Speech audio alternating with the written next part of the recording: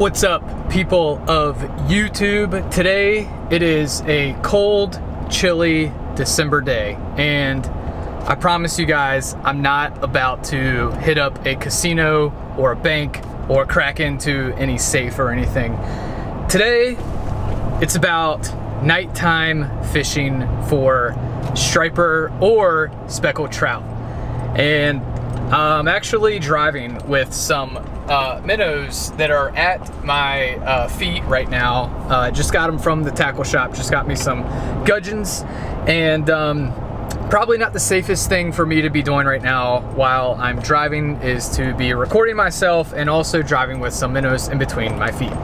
Uh, anyways, but that's not the point. The point is today I'm hopefully going to be taking y'all along with me on my journey of catching some nighttime striper bass.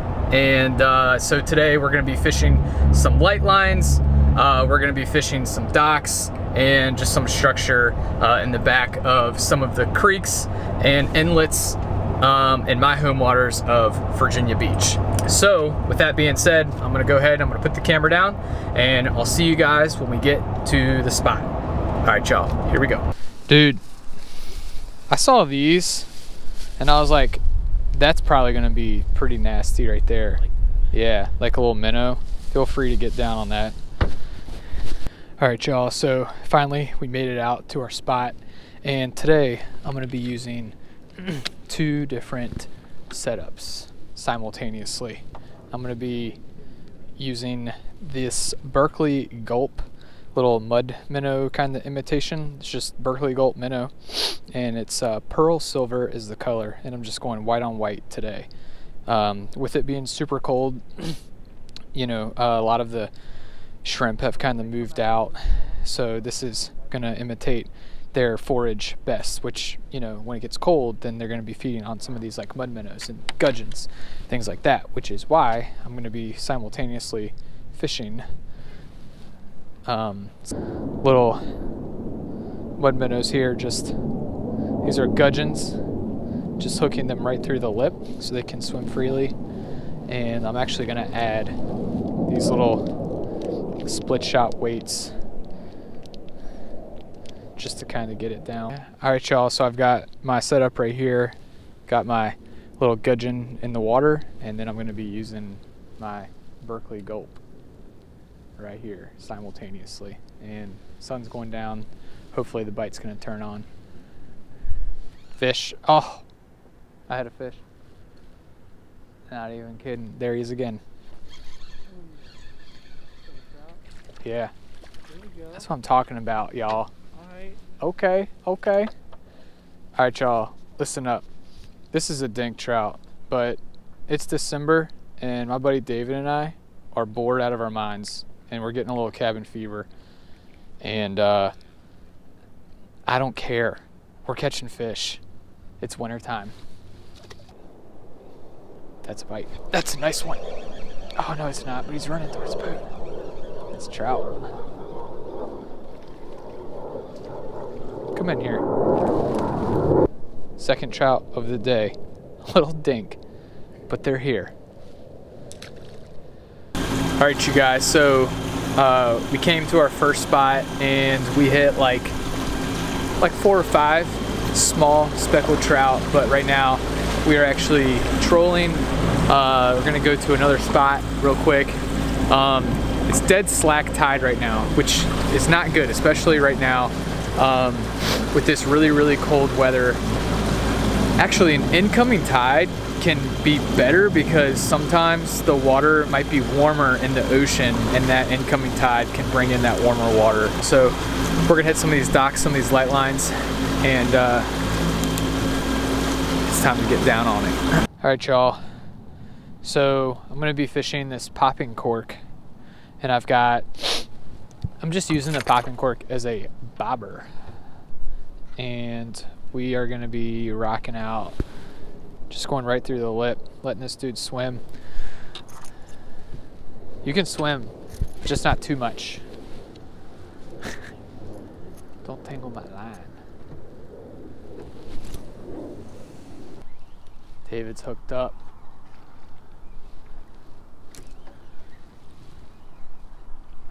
Not bad, dude. That's that's probably right at keeper size. That's not bad at all. It's a little fatso. That's a fish. Good one. Oh, not bad. Come in here. Sweet. All right, y'all. Getting better. David's was probably right at keeper size. This one's probably just short. But again, we're out here and we are making it happen. It at night here in Virginia Beach in the dead of winter. Richmond's got like a foot of snow right now and we're catching speckled trout. That is awesome. Oh, oh, oh, right there. I saw that. I saw it. Right off the back, dude. I saw it. That was a striper. It okay. Right off that pontoon boat. Right off the back of the right in the light. That's this is the dock that I was looking at. It's got the fluorescent light. I will. I'm just gonna creep up. Nice cast. Are you on? You on? Nice, nice. Nice. Let me know if you want the net. Let me know if you want the net or if you want to flip them.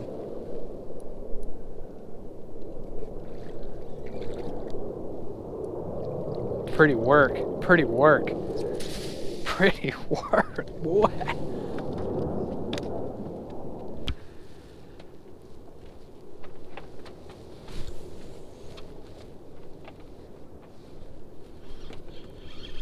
Come on.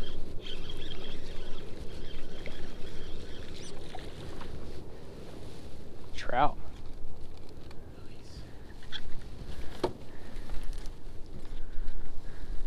I want to do a catch and cook on one. That's why I want to get a uh, 20 incher.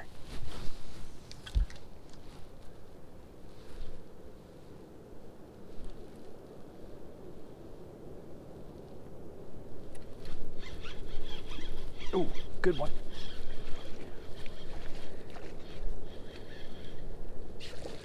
Good one. Come in here. You. We're getting on these striped bass right in these dock lines.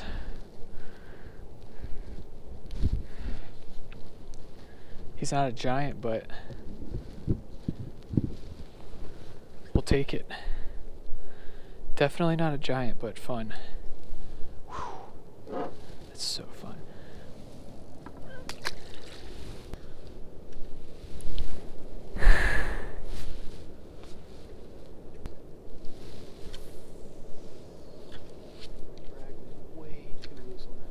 On. On the fall, dude.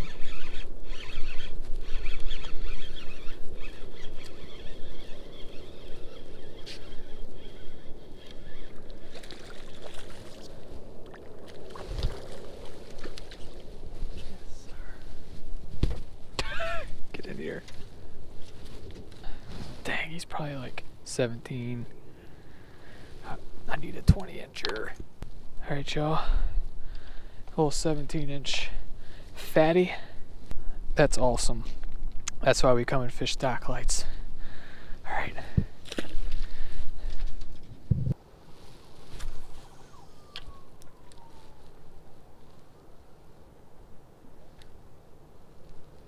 He's on. Ooh, good one.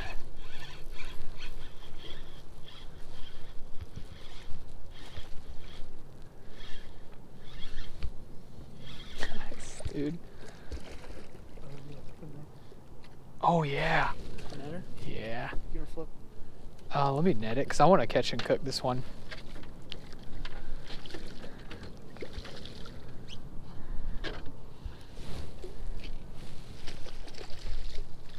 Sick. That's out here. Oh my gosh, dude, that is so sick. Dude, that is awesome. That is so sick. That's a good bass. That's a fatty. All right, y'all. Definitely doing a catch and cook tonight. Oh, that is so sick. All right, let me get us back in the zone. There's got to be like at least like 10 more of these guys in there. Oh, that's the cast right there. There it is. I, dude, bank shot. if you can get it deep in the light, that's where they're at. I don't know. Not really. Yeah. Oh, man. So fun. All right, y'all. It's like striper number five or six off this dock. Not too bad. All right, y'all. One of the other things, um, when fishing these dock line, dock lights, the light lines, is casting accuracy. And the other thing is handling your trolling motor. Because let's see, here. That's the spot right. These Berkley Gulp um, minnows on a three quarter ounce jig head are getting it done. Actually, it's kind of like more effective than a live minnow. But as I was saying, so when you're fishing these dock lights, you gotta kind of be stealthy. These fish do spook pretty easy. Um, so you have to really like make sure if you have a trolling motor, then you're able to kind of. David just busted again. Another one. Same spot. So David just casted and uh, he hit it on a pontoon boat and he was saying that a lot of people they make the mistake of going after um, their lure to get it and obviously that's gonna spook all your fish away. Okay.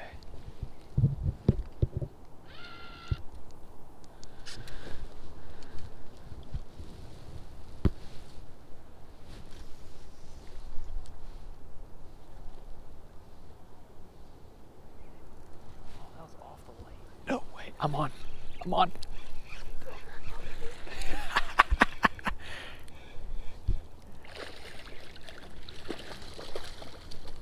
that's a good one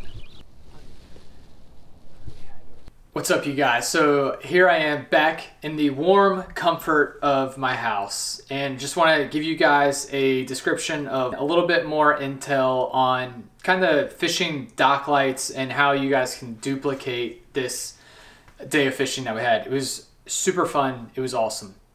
Also, check out this Santa Claus, Father Christmas. Can we get a zoom on Father Christmas? Check this out. You guys, Christy and I, we found this gnome or whatever this is um, in our apartment. So, anyways, dock lights. Fishing dock lights is awesome. Anytime that you're catching fish in the winter, that's a bonus. Uh, one of the cool things that we saw um, when we got close to the dock lights is just tons of little, little, little minnows all throughout inside of the lit up area. And I've fished dock lights before, um, fished stripers before, but it's one of those things where really until you see it, then you can fully understand it. So um, that's kind of the observations that I was making along the way is that for you guys who want to fish dock lights, uh, the best way to do that is the brighter the dock light, obviously, the better. But a dock light is also kind of like current. Uh, so those predator fish are going to sit sometimes on the edge of that dock light and any of the bait fish that's come swimming through that, that's when they're going to ambush it. So um, that's something that you guys want to keep in mind when fishing dock lights is um, you want to cast into the dock light, but you also want to fan cast to the outer edges of the dock light. And a lot of times that's where those predator fish are going to be. You do want to keep your ears open to like you're fishing a creek and a lot of times when those striper or the predator fish are going to be hitting uh, the bait fish in the dock lights number one you can see like a splash. Um, that's how we got on the fish that we did uh, this evening as i could hear splashes and you can actually see it too. Uh, you can also see the big striper too like in the dock light. So um, hopefully you guys got some good um, knowledge and some hopefully you guys enjoyed that content of this video that I posted. Christy and I, we're probably gonna be doing a lot more fishing like this because it was a blast. You guys definitely got to get out there. You don't even need a boat. Uh, just get out and fish a dock that's got some good lights and get out there and catch yourself some striped bass.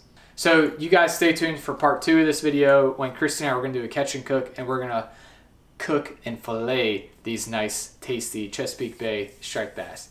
All right, you guys, peace out.